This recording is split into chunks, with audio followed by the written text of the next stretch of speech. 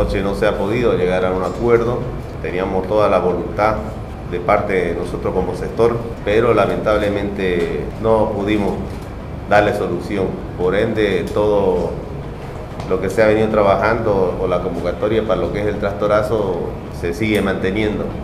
Sencillamente no hay voluntad, ¿no? No hay voluntad de parte del ministro porque venimos ya desde las primeras reuniones con la misma posición. Queremos dejar nosotros en, claro varios puntos que hemos puesto sobre la mesa eh, de las negociaciones. En primer lugar, la total unidad que hay en nuestro sector, ¿no?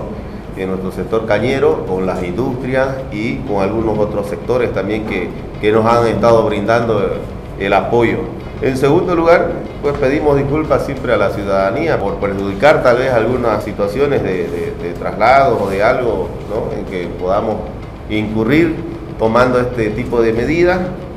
Como tercer punto, los cañeros junto con la industria somos quienes verdaderamente asumimos los riesgos de invertir, de producir, soportando el mal clima y las plagas que nos afectan.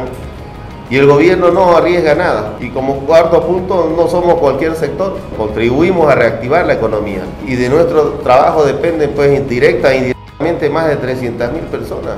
Como quinto, no es cierto que el precio del etanol lo vean caro o se vea caro, como lo dice el ministro de hidrocarburos. Más bien caro es que sigan importando gasolina, que sigan queriendo comprar de afuera y no al productor. La gasolina que compran inclusive es con más bajo tanaje. Nosotros hemos solicitado 10 centavos de aumento de dólar por, por litro de alcohol, pero tampoco estábamos cerrados en llegar a esa, a esa, a esa posición. Hemos dicho claramente busquemos un punto de equilibrio. Y ellos dijeron, bueno, yo les aumento un centavo. Entonces no hay negociación cuando en realidad es casi como hacerse la burla de nosotros, nosotros pidiendo 10 centavos de dólar, alejándonos inclusive de la ley 1098 que nos rige, ¿no? que nos rige y en su reglamento dice claramente cómo se va a determinar el precio para este segundo periodo.